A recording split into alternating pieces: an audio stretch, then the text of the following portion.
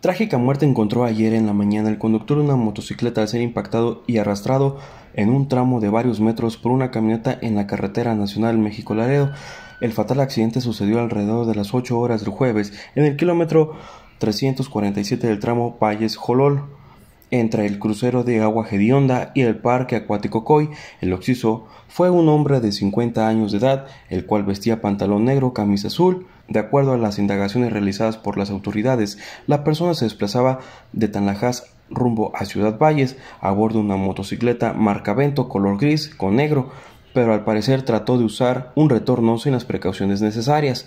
En los momentos en el que se aproximaba a exceso de velocidad a una camioneta Nissan Frontier color gris de doble cabina con placas de circulación de esta entidad, la cual embistió de frente y se lo llevó arrastrando varios metros. A consecuencia de esto, el conductor de la moto murió en forma instantánea, víctima de las múltiples lesiones a causa del brutal impacto, quedando destrozado entre los restos de su unidad motriz.